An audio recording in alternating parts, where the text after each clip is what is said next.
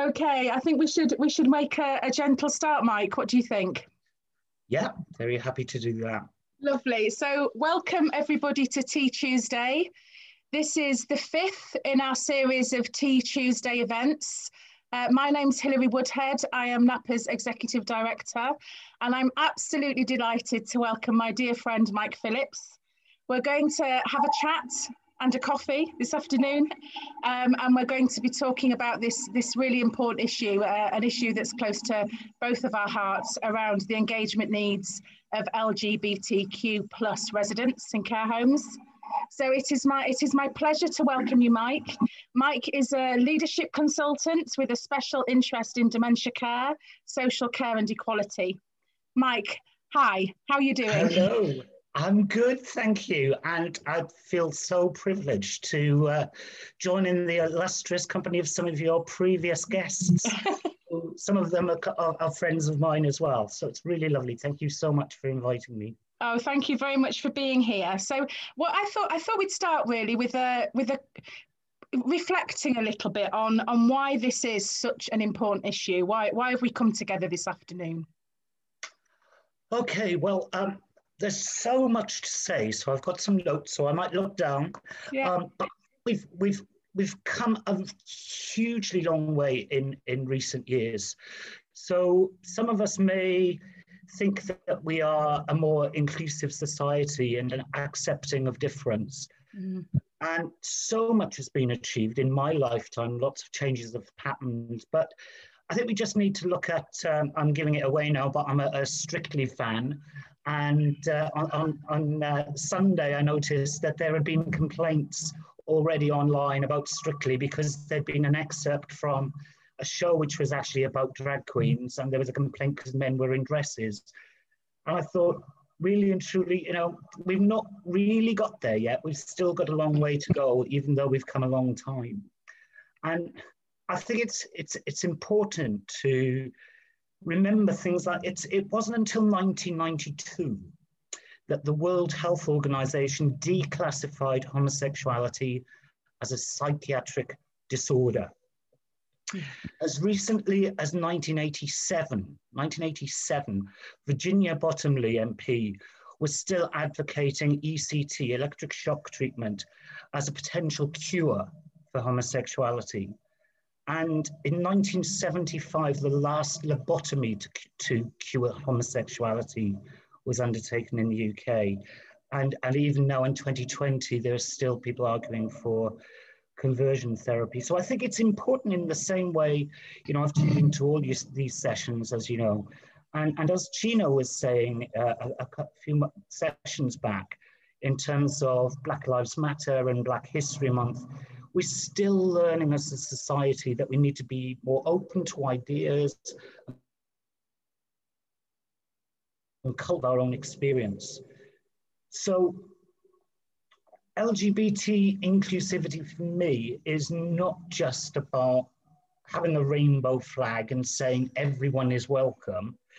It involves being aware of our own unconscious bias um, and our understanding that we need to understand the experiences, particularly of older LGBT community, because um, their experiences is very often what creates a fear of moving into care. Um, and of course, it's important because legally, uh, under the Equality Act, uh, it, uh, sexual orientation is one of the protected characteristics.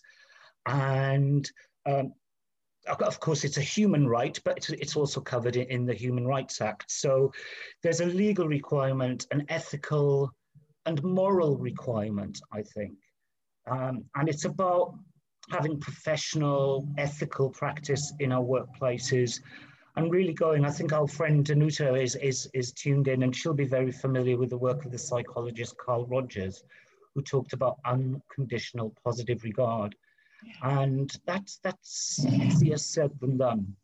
Yeah. So, um, you know, it's, it's, it's for me, I'd like to say, you know, as, as a, a white man, I cannot experience, ex, understand the experience of Black people and their lived experience, but I can listen, I can learn, and hopefully empathize. Um, and in the same way, I, you know, with heterosexual people, uh, you might not understand the experience of LGBT people, and that's not your fault. Um, but you can listen and learn and adapt our practice uh, to make sure that we can promote inclusivity. Absolutely. Thank you so much, Mike. I think, you know, from a from NAPA's point of view, and we were we were having a chat about this recently, weren't we? That, you know, from our point of view, we're all about making sure that people are able to engage, that they're able to spend time doing the things that matter to them, um, and doing things that they can that are meaningful and purposeful. But actually we can't get to that point of engagement until we make a connection until we understand or go some way towards understanding. Listening is that first step, isn't it, to understanding somebody's experience. So I think it's really important to recognize, yes, the legal framework, our moral obligations, all of those things, but it's also from in terms of connection, in terms of being able to spend time authentically with somebody. We really need to kind of listen, don't we, to, to what's important to them and what helps them to feel safe and comfortable and all those things that, that you've just mentioned. Um, so in terms Definitely, of... and I think, and I think, so I was just going to say, for, for me, it is all about connection, and, and um, I'm an associate with Meaningful Care Matters, uh, and we talk a lot through our work um, in training around dementia care about you know creating these meaningful connections. That's what, for me, what drives me. That's my passion in in dementia care. Absolutely, absolutely.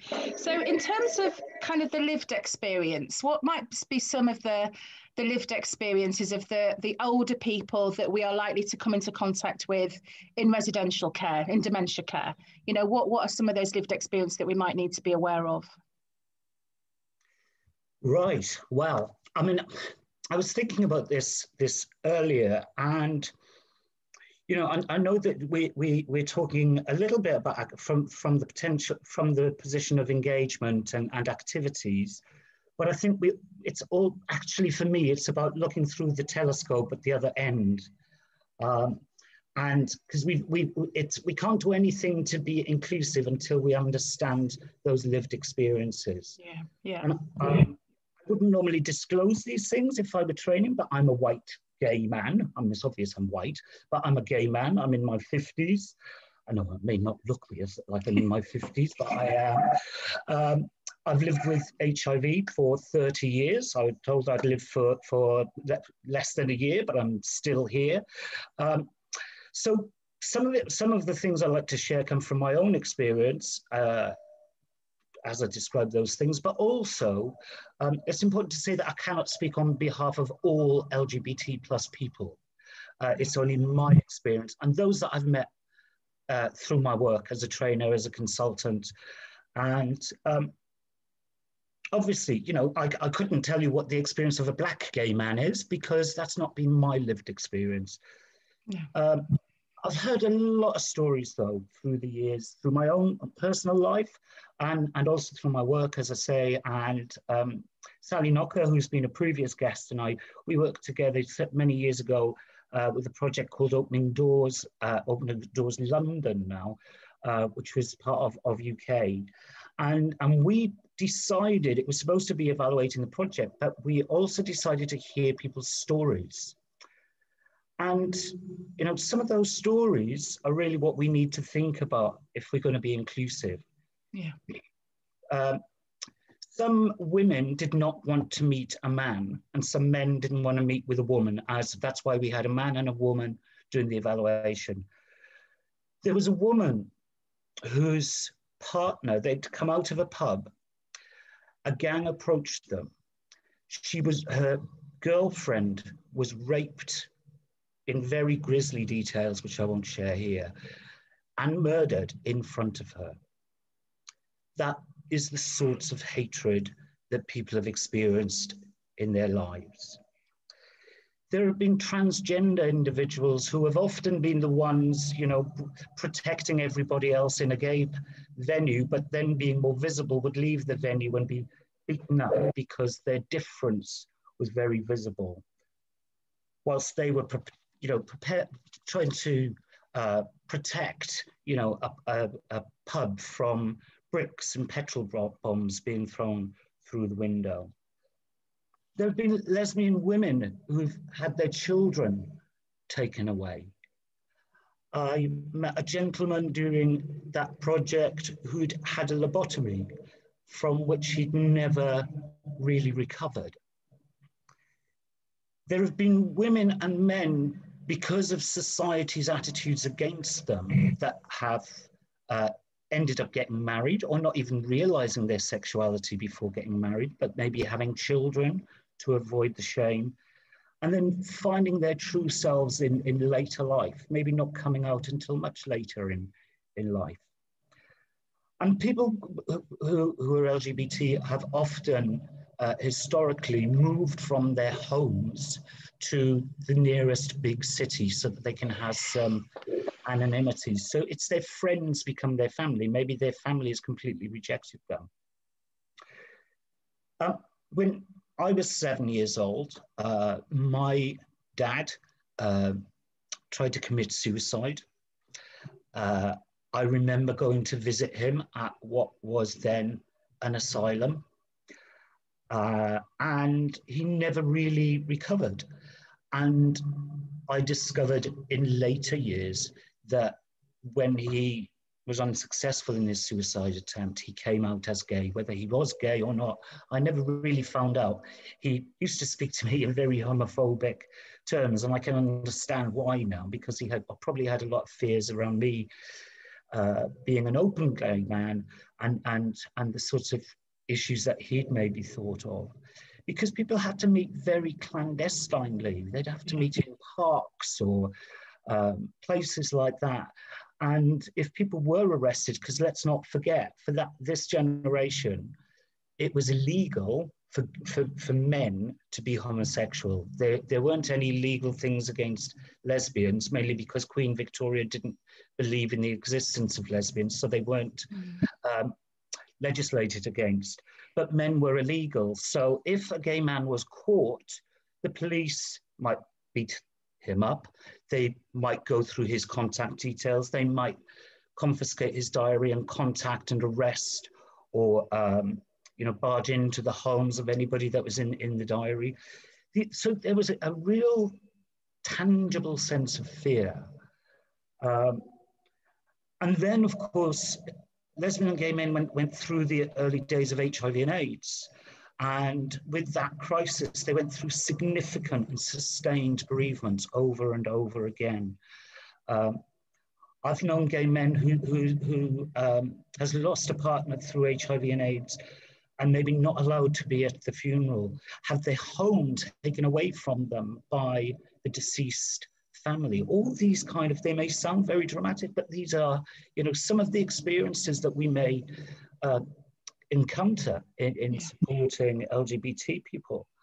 And on a, on a personal level, you know, I was diagnosed, I mentioned, uh, when, when I was 24. By the time I was 25, I had 50 friends that had died through AIDS. I stopped counting at that point. So that gives a kind of, you know, all those cumulative effects of loss, feeling uh, unwanted, feeling that you're bad, feeling that you're a sinner. Those things become internalized for a lot of people.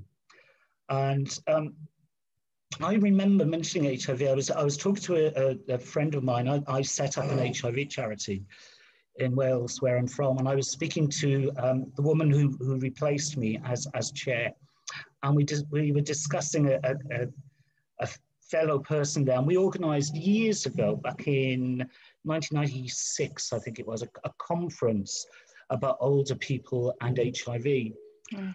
And um, one chap talked about he, he was then officially becoming in the bracket of Age UK um, of being an older person. And he talked about he'd closed his life down thinking he was dying. Then in 1996, new combination therapy came about he suddenly had a future again.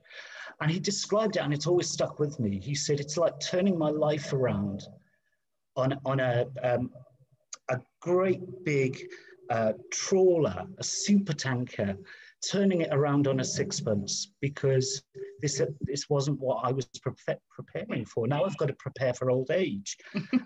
talking about him uh, with my friend Alison the other day, he's just turned 70. And mm. um, so it just goes to show that there are so many issues, you know, and a, a colleague who might be online today was telling me recently about a transgender woman who, who was petrified about going into a care home and receiving personal care. And, and she was absolutely petrified that, and this was somebody that had transitioned from being male to female, and she was petrified that she might have personal care provided by a male. She didn't want to see her genitalia seen by a male.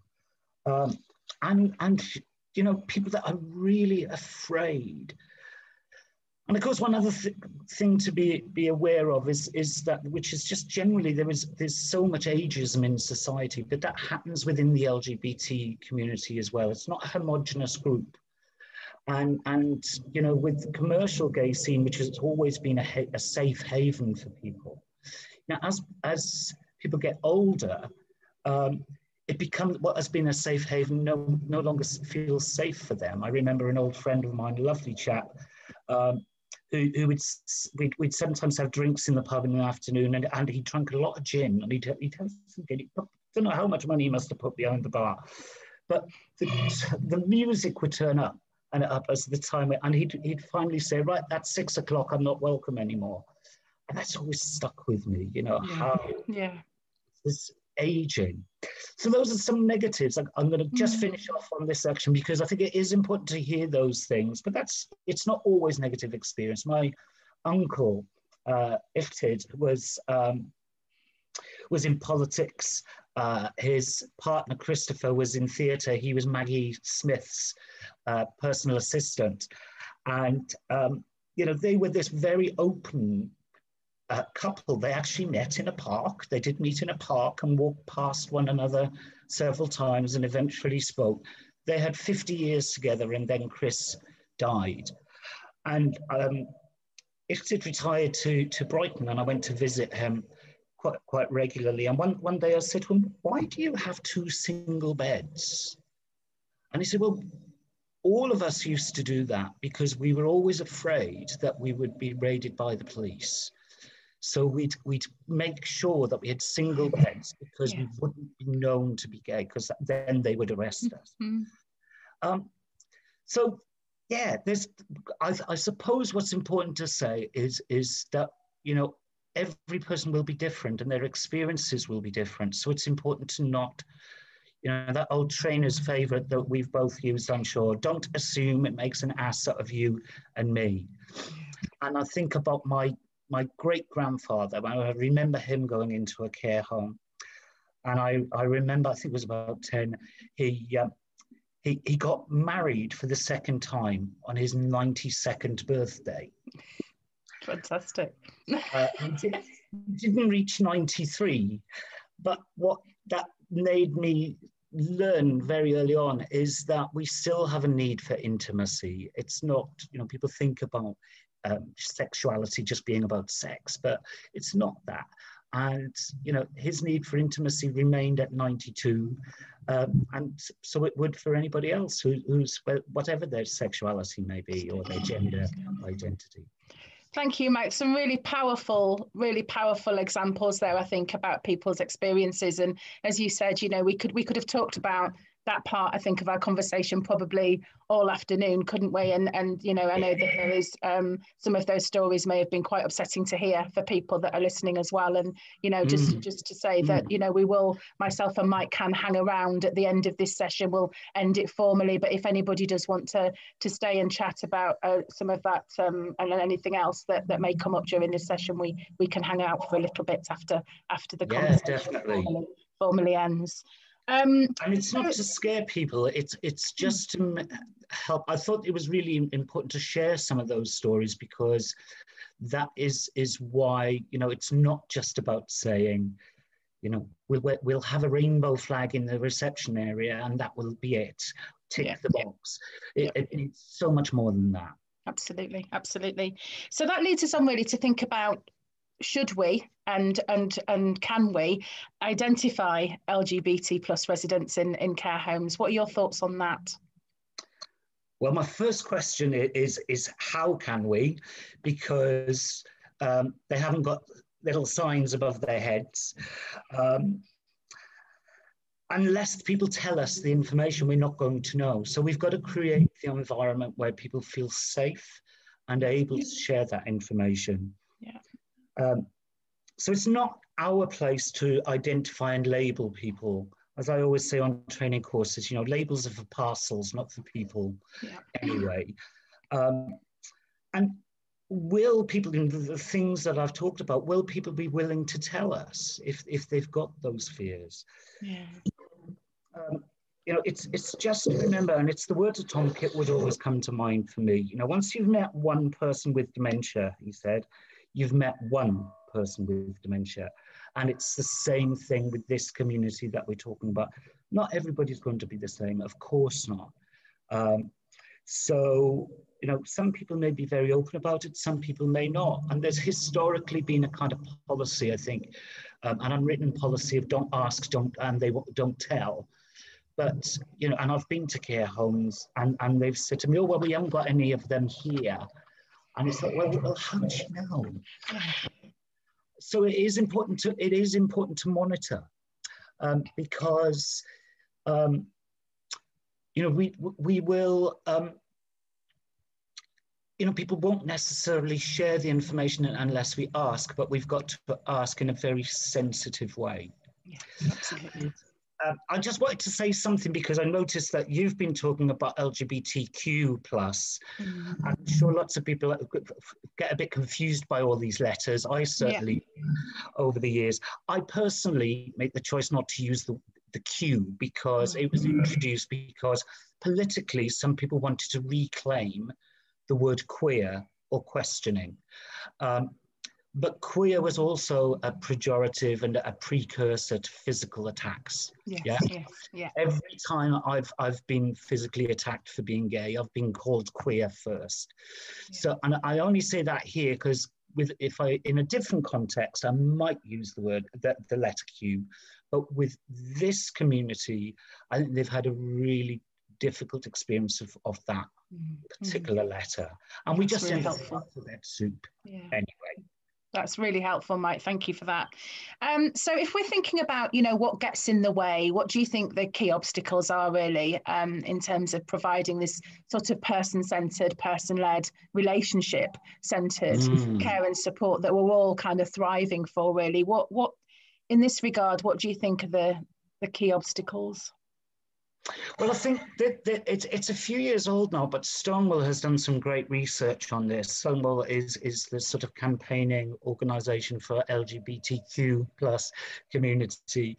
Yeah. Um, and, and uh, you know, just, just some of the stats from that report that really struck me, even though it's a few years old, three in five are not confident that social care and support services, including paid services or housing services, will understand their need nearly half said they'd be uh, would be uncomfortable being out about their gender or, or, uh, or, or um, sexuality to care home staff. 81% of women and sixty nine percent lesbian and bisexual women and 69% of gay and bisexual men said they view their friends as family. So that has an implication us because it may be their friend that is nearer to being a next of kin than a relative. Yeah. Um, eight in 10, uh, sorry, I've, I've, I've, I've jumped, no, nine in 10, 89%.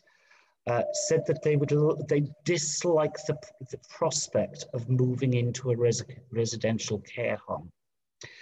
So we've got a bit of a job on our hands before we even get them in, in terms of changing some of the perceptions that, that people may have about how they may be treated in care. Um, 70% said they don't feel able to be, they didn't think they'd be able to be themselves. And 76% uh, are not comfortable that they definitely would be treated with dignity and respect in care homes. So, you know, there are a lot of stats there. Um, yeah. I've made all these notes and i will happily send you these. Yeah, yeah that would be really helpful. I think, I think some, sometimes the stats are a very good place to start, aren't they, when we're developing policy? And yeah. I know that you have a very, you've got a, you've got a particular standpoint on where do we start, haven't you, in terms of, you know, policy development. Definitely, because we've got to, we've got to re- realize the other kind of barriers of things that reluctance on the part of managers and some some managers and some staff to discuss the issue. Yeah. Uh, if you know, I love the worries around not necessarily how will staff treat me. It's about how will other residents treat me. Mm-hmm. Um, multicultural staffing means that people come from a range of backgrounds, range of cultures that may have attitudes that are not very inclusive of uh, people who are LGBT plus. Um, for again, a whole other dimension is dementia, yeah. and um, you know, there's all those other health concerns that that additional for lesbian and gay people, breast and prostate cancer, mental health, HIV, etc. So there's a lot of barriers there. Yeah absolutely absolutely. And so you know you said it's it's so much more than you know the rainbow flag in the window or whatever or you know the rainbow lanyards or whatever it is that we want to that we want to wear to demonstrate. It often comes from a very good place doesn't it? But to demonstrate you know that that we are inclusive. But you know what what can we what what is it? You know what are the things that all of us can do to, to, to make a difference, not just to show that we're making a difference, but actually yeah. to make a difference. Well, there, is, there is some fantastic work going on there. I'm going to give a plug because uh, uh, she's been one of the people that I've been speaking to in preparation for today. Natalie Ravenscroft, hopefully on watching at Belong Care Village, where she's been organising a Silver Pride events. Uh, the last couple of years, there's so much stuff going on that is really good. Um, but it's, I'm going to go back to that metaphor of the telescope. And. I think we need to look from the other end. You know, rainbow flags and ribbons and lanyards and flags and all those things are great outward sign that we're being inclusive. But we've got to have the infrastructure in place first. It requires yeah. leadership and a, a, commitment to sort of a, a process with staff, looking at their own understanding, and expectations and interpretation and maybe some of their own, their own biases, which they may have. Mm. And that needs to be dealt with sensitively and in yeah. a non judgmental way. Absolutely. We, we need to have, I would say, good policy and strategy uh, for how we're going to demonstrate um, all those things. And those sort of policies and strategies need to include things like how are we going to monitor, how are we going to deal with disclosure and confidentiality, how are we going to deal with risk management and bullying if one resident bullies another on the basis of their, yeah. their identity? Yeah. Uh, what about end of life planning and care?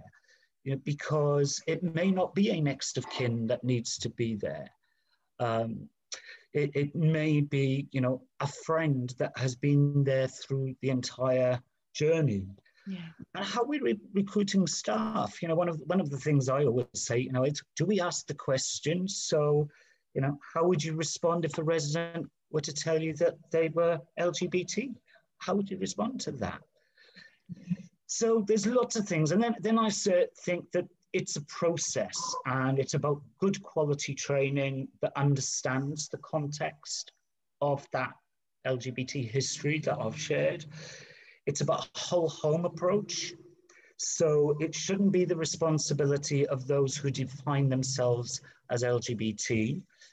Obviously, it's how we how we support our LGBT plus staff, but we can't expect them to be the, the ones flying the flag out. So we need our allies who are not LGBT plus um, to be to be alongside. It's it's even silly things sometimes. Well, not I'm not silly, but but things that are easy to forget. I do a lot of diversity training, and I remember doing. I, I use a diversity audit, and I was training an organisation years ago now, and and it was. Um, an older people's health condition. If I say what it was, I'll name the charity. And um, the, for their trustees, and the trustees were, were saying, oh yeah, but everybody's welcome. And uh, we went through the audit, and one of it, you know, we, we looked at various sections and, and we looked through their publicity, and there was nobody under 60, there was nobody that wasn't white. Um, every couple looked as if they were heterosexual couples. And that's not that they were doing that to be excluding, it was just they didn't realize that. Yeah. You know, to be inclusive, we need to create those images on our websites, on our literature, um, talking to residents about LGBT issues before LGBT residents move into the home. You know, so there is that conversation. Mm-hmm. Um, and yet, you know, checking out does is, you know, I'm really delighted when I visit care homes for my work and I see a rainbow sticker. I'm not in any way saying don't do it because I go, ah, gives me a sign. Mm-hmm. But if, if there's that sticker and I'm an older uh, LGBT person, I see that sticker and I move in, and then I've got staff who haven't been trained on these issues that then tell me I'm a sinner. Yeah. Then, then that yeah. the sticker just doesn't say anything. So I'd say connect with your local LGBT organisations. I've put there's lots, um, and really, really work in partnership if you can. I, I'm all for collaboration. And in terms of the activities, you know, which, which many people might have been tuning in to think about the activities, well, it's like, I'd just say they might need to be one to one. You know, it's just putting on a, a Judy Garland sing along session, uh, thinking that's going to appeal, you know, yeah. not, yeah. Not, love Judy Garland. Um, but it is remembering, excuse me, that, that you know, uh, NAPA's 10 core activity needs. You know, one of them is around cultural needs. And remember that LGBT goes in that need alongside BAME, Black and, and Asian and, and minority ethnic communities. So it's about enabling residents to visit local LGBT venues. Um, I know if, if Illtyd had gone into a care home, you know, he'd been wanting to go to the to the gay pub because yeah. that's where he could chat and flirt. Yeah. Um, and and it's thinking about yeah, I, I think she talks about Black History Month, but also using LGBT History Month as an opportunity to in guest speakers, uh, learn about some of the stuff. Um, and, and keeping up those, and remembering that the social networks are going to be very different, very different in terms of how um, how we got. So when I, when I was a young gay man and I, I went to Cardiff to train to be an actor, um, I was a lodger with with an older gay couple. They were older, in, as in they were in their thirties and I was younger than them. they, they were like mentors to me. So it was very important to me um, to try to be a mentor to the next generation up. So my, my we call him our adopted son, but you know we had then ended up with a lodger who who in a way became our adopted son. We mentored yeah. him. It's like a family relationship.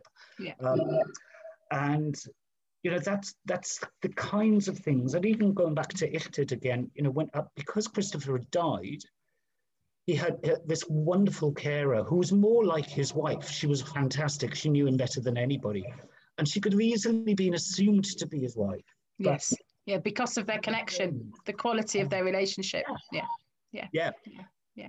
Brilliant. Thank you, Mike. I'm really conscious we've got lots of chat. I know. And possibly some, I'm hoping some questions to, to, to have a look at. I'm just going to whiz through and um, if that's okay and see, and so we don't miss anybody or any really important shares. Um, lots of hellos from people that, that know us both well. Uh, so hello back to everybody. Um, hello everybody. A point here from from from Chris Maddox. Um, I oh, think it's important. Chris. Lovely, Chris. I think it's important to remember for older LGBT plus people who may be in a care home that homosexuality was a crime when they were young and they had to hide their sexuality. When dementia progresses, they may revert back to when being gay was illegal. And become yeah. very frightened to say that they are gay. I think that's a really important point, Chris. Thank you. that absolutely dementia complicates this further, doesn't it? In terms thank of yeah, I think it's it's. Thank you, Chris. It's a really important point. I mean, when when I'm training on dementia, I often talk about this part of the brain, the frontotemporal part of the brain. I, I call it our social police force because it's the part of the brain that monitors our behavior and yeah. prevents us from maybe swearing or, or using a, a, racist term. We might think it but not say it. Um, but when that's damaged, if that part of the brain is damaged by dementia, then people may behave in ways they weren't before. And I remember people with, in, in the early days of HIV, with HIV related dementia, that would take their clothes off in a public space. Uh, or, or urinate in a corner or, or something. So we, we do need to be aware of that. And, and there may be, be people, because of their dementia, that may be very, very fearful. Absolutely. They may have been put into an asylum or arrested and put into prison. Um, and I'm not saying that care homes are prisons, but um, you know, being in, in a different, unfamiliar environment could bring back really difficult feelings and emotions. Absolutely. And I think if somebody feels safe enough to, to, to share their identity, then with, you know, or, or, share a part of themselves with somebody, they may well feel that that person who they've shared that with is able then to respond if they were to share difficult information. And of course, they may be two different things. So it is preparing staff uh, to be able to respond appropriately as well, isn't it? If some of those difficult um, personal experiences are shared. Yeah. Yeah. Exactly. That's what I mean about, you know, having a rainbow badge is, is, is great to show, yeah, I'm approachable. But if then we have to deal with something, know, so we, we've got to have the, the right training and support to be able to handle those kinds of situations appropriately. Absolutely. Absolutely. Um, just from Susie, Mike, Susie says for LGT plus month, I held a session where we spoke on the changes over the years for the LGBT, uh, LGBT plus community and how we have changed to be inclusive. We talked about Stonewall. It was a great discussion, and residents who chose to take part, um, and residents chose to take part, which is fantastic, isn't it? That, that they were given the opportunity to, to share. Brilliant. I've just I think that's that's the great thing with that event. That is that it, it gives an opportunity to to make it just part of the year's activities without singling out, you know, those who may be LGBT. Yeah, absolutely. That's, yeah, um, I'm just wanting to whiz through some of these other ones. Um, from Ladder to the Moon. Uh, hello, oh. Ladder to the Moon. I'm hello, interested in running groups online. My aim is that staff would have conversations with any residents who they might think of uh, who might think identify as LGBTQ+. My intention is to make these groups creative um, to get the conversation going. What a, that, what a good idea. Great idea. Fantastic so that people remember that you know, there are groups in the community that that um, that that can help as well. Um, you know, and I, I'm all for intergenerational work. You know, and and there's thankfully now we've got support groups for younger LGBT plus people, and you know maybe some of them would love to become a, a, a regular visitor befriender and come into the home. Absolutely. You know, so be creative absolutely, absolutely. Um, and we have uh, some discussion about Safe to Be Me. Uh, a couple of people have referenced very important document, very helpful document. Um, do you want to just? I was, I was, going, I was going to give it a plug. Um, it's it's an incredible resource.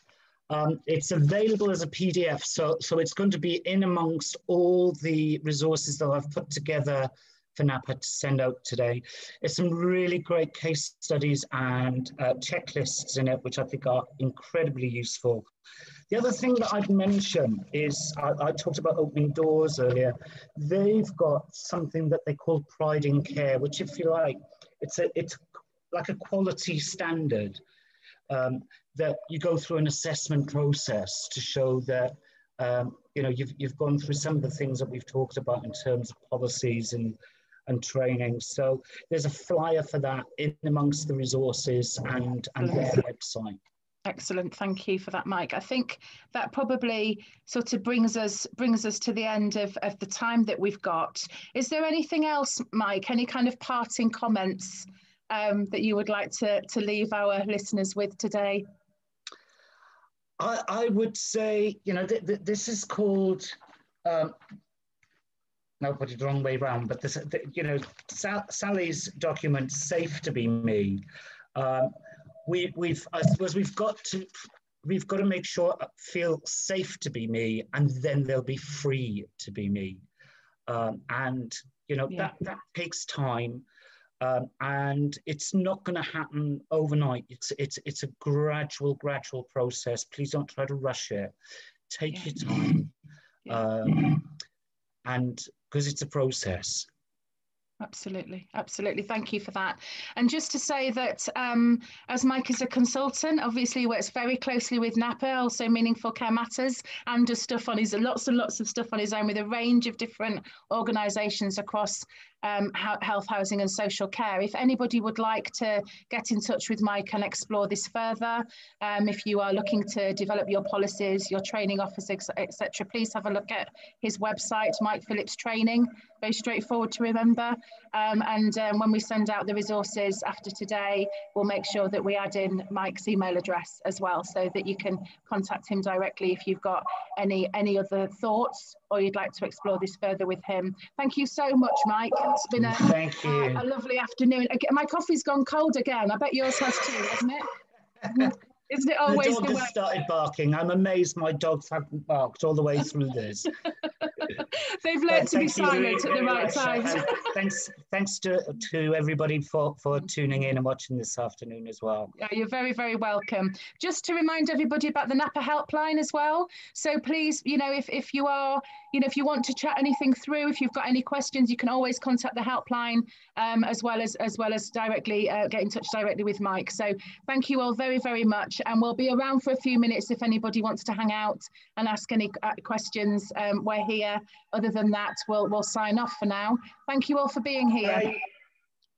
Take care. Bye-bye. Bye.